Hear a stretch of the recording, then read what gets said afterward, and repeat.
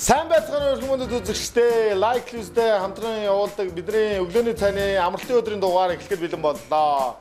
Ингээд өнөөдөр бол 25 дахь дугаарыг та бүхэндээ өргөж байна. Та бүхэн өмнөх өмнөх дугааруудыг бидэртэй хамтран хамтран та бүхэн хийж идэж таашаал авч байгаа гэдэгт бид нар маш их итгэж байна шүү. За ингээд өнөөдөр бид нар бол шорлог хийн. За амралтын өдөр өглөө болгон бид нар бол их хвчлэн хөнгөн юм хийж байгаа бол одоо бас нэг үйл юмнуудаа арай шинжиж та нарын те гэр бүлийн минь чи арай дөхөн болох үүднээс амралтын өдөр зорж та бүхэнд шорлог хийж үзүүлнэ. За шорлогоо болохоор дахианы махаар те Ер нь бол бидний нэвтрүүлгийн маань одоо манай хөтлөгч те манай рестораны зүгээс бидний гол зорилго маань та бүхний гэр гэрийн хөрөгчөнд байгаа те хамгийн хөрөгчөнд байгаа хөнгөн зүйлсээр яаж амттай хоол хийх вэ гэдэг юутай бид нар тийм урайтай сэдвтэй тэгж ажиллаж байгаа. За дахианы маха дөрвөлжин ирчээд өгнө.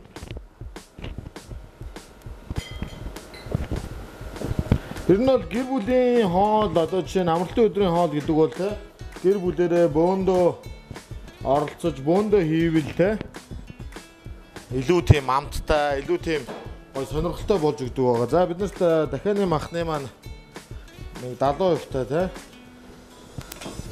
120-оос 130 г дахианы мах. За энийгээ болохоор бүгдээрээ сайхан амтлаа тавьчихна.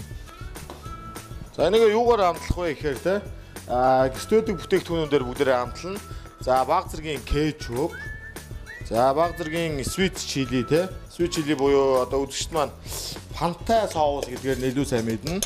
За энэ дээр баг зэргийн тос За баг зэргийн соёо буюу те кикмон цуу манайхан бол гэрээ зэтэй нар солонгос цуу гэдгээр нь сайн мэднэ. За тэгээ баг зэргийн зүгийн бал хийгээд өчнөө. За ингээд гоё амтлагаа маань ийм гэлтгансан те гэлгаар ийм сайхан үнэртдэг та үнэртдэгч болоосай. За энэ дээр гоё сайхан перц хийгээд өгнө. Жохон хар перц. А баг зэргийн давс. За ингээд ингээд сайхан махан амтлаад өгнө. Үдшил маань сайн анзаарж байгаа бох те. Гэлтгансан гялгаар үнэртэй солиотой солиотой үнэрч чинь. За ингээд дахиад маха баг зэрэг ингээд дараа тавьчихна гэсэн үг. Энийг ер нь бол их амар удаан дарахгүй. Энэ юмаа хэрччихэл бүгдээрээ сайхан махчин дарагдаад ирнэ. За гоо мэдээж шорлог юм чинь те. Баг зэргийн гой өнгө оруулсан ногоонууд хийвэл гоё.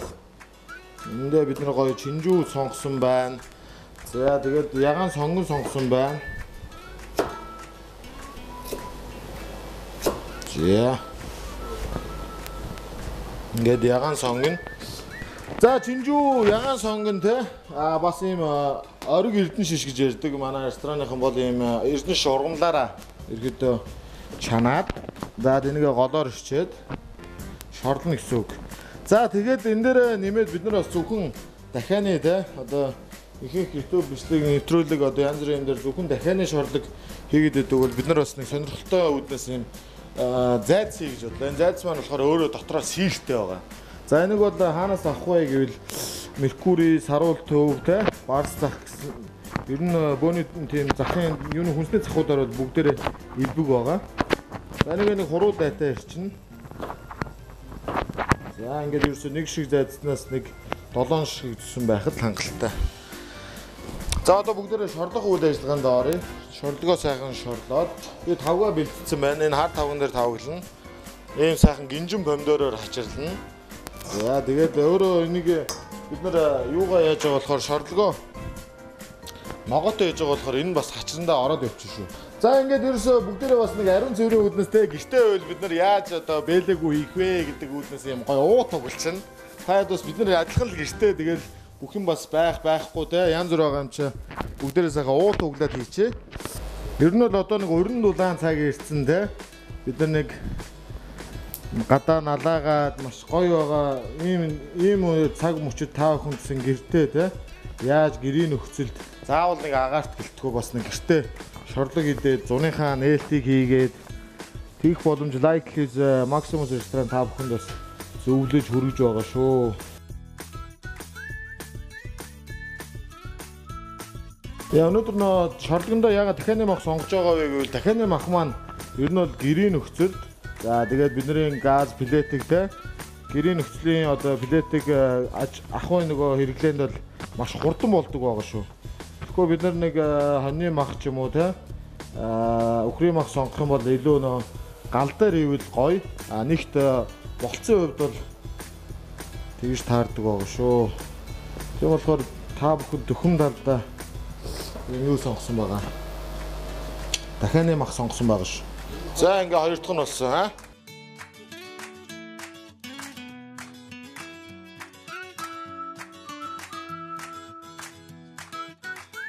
Эцтэйчүүд маань зөвлөхөд те аа баг зэргийн нөө баг зэргийн чи юу ах вэ? Ийм гэрэл байл их зүгээр. Ийм ийм нөгөө хайрлын тавг байл их зүгээр. Яг л ийм хайрлын тавган дээр бүгд яг л нөгөө гадаа нөгөө гэрэлдэж харж байгаа юм шиг те идэж хийж иднэ гэсэн. За энэ дээр баг зэргийн тос хийгээд аа давхар бид нар амталсан байгаа болохоор махчаа амталсан байгаа болохоор илүү тийм гоё шаргалтуулах болохоор те Маслны хэрэг бол байхгүй. За нэгээ сайхан халаагаад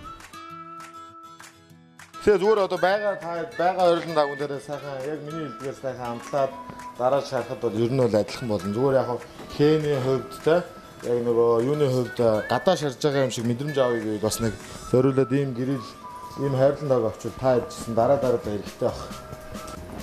За. За өчтөө сайхан халсан байна. Халсан юм дээр шорлогоо хий. Гой дуурж байгаа бахтай. Авчаараар сага авчаад. За энэ хайцгаар бид нар бас нөө хачирныхан помидорыг шараад өгнө. Яа. Ингээд баг зэргийн тос хийгээд.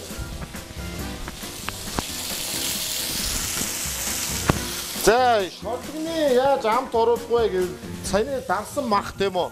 Энээсээ гадна бид нар нөгөө утаа шингэн утаа гэж үүдэг. За шингэн утаа одоо ер нь бол за Меркури, Меркури те. Марсаар бүх газраар л байгаа. Шингэн утаанаас жоохон хийгээд өгнө. Тэгэхээр ер нь энэ нэг юм утааны амт орно гэсэн үг те. Яг л нэг юм гадаа байгаа юм шиг аа.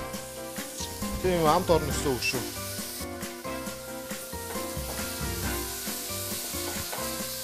Маш гоё үнэрч чинь Та заавал хийж үзээрэй аа үзэгчтэй.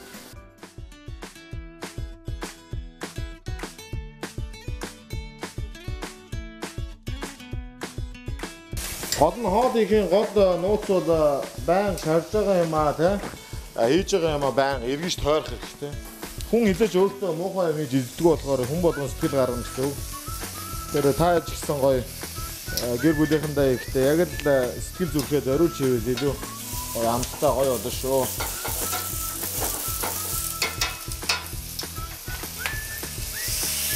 За маш гоё харагдж байна. Өнгө нь ялгараад за. За энэ дээр түрүүн би нөгөө ярьсан шүү дээ. Аа нөлцөн соусоо бити асгаараа гэдсэн. За энэ соусоо ингээд дээр нь ингээд ингээд өгнө гэсэн үг нөө. Жохон өнгөлөөд өгнө гэсэн үг. Бүр нөө гоё амт оруулахын тулд те. Өнгө оруулахын тулд амт оруулахын тулд Тагаа соусаараа өнгөлөд өгнө.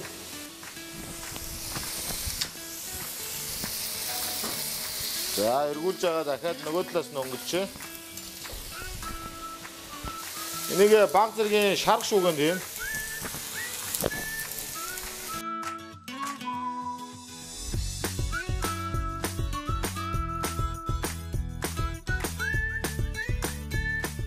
За бидний шорлог маань бэлэн болсон байна те.